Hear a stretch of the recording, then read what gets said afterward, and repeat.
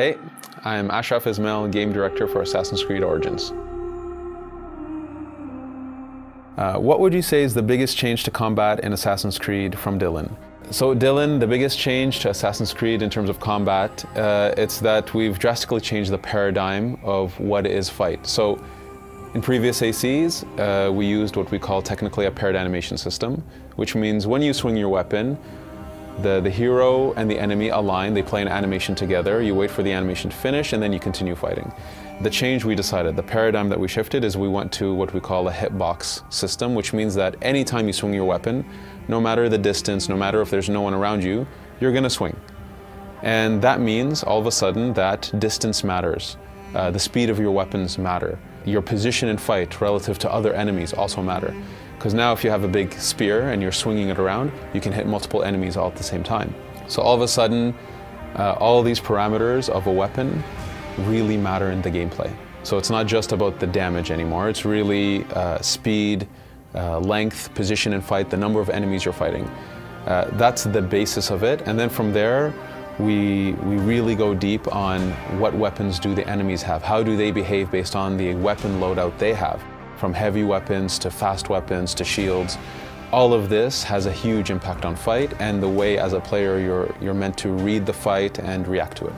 What kinds of weapons will we be able to use, Megan? Megan, we have a ton of melee weapons and ranged weapons. So if I start with the ranged weapons, there's the hunter bow, which is a more traditional bow.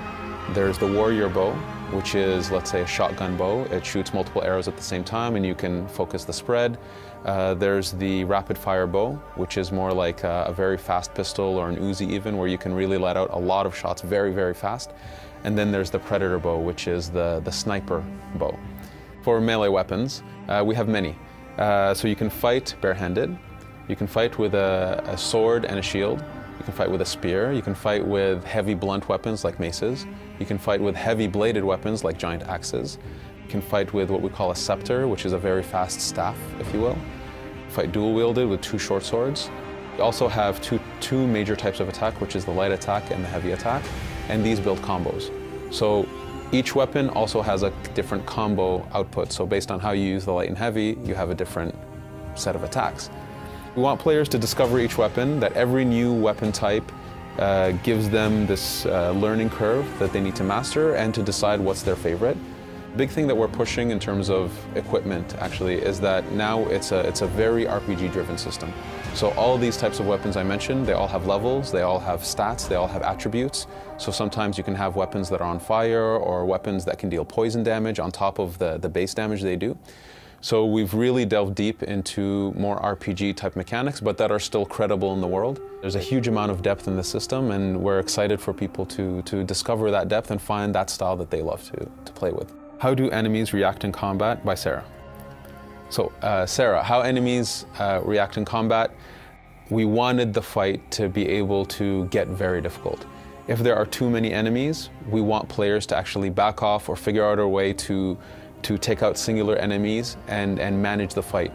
Uh, you cannot fight eight guys in one shot and be efficient. There are ways for you to actually be able to, to manage them, but we wanted that if there's a lot of enemies around, you're going to get overwhelmed. Uh, we do have the capacity that enemies will attack multiple at the same time. Uh, how do you deal with that? So we have a lot of defensive mechanisms. So uh, you have your shield, you have a dodge, you have a parry. Uh, so there's a lot of defenses. You have your bows. So uh, one thing we worked on is actually being able to transition between melee combat and the bow uh, very fast, very efficient without breaking the flow. We wanted players to be able to to take a few shots at a guy to slow them down, maybe if they're charging, uh, use their spear to take out the two guys that are on their left and go back to the person charging them again. We wanted the fight to be very dynamic and, and, and very um, uh, spontaneous, and that your skill of understanding the enemies, how they behave, their weapon loadout, your weapon loadout, the efficiency of your weapons. We want these things to be constantly running in the player's mind to be an effective fighter in the game.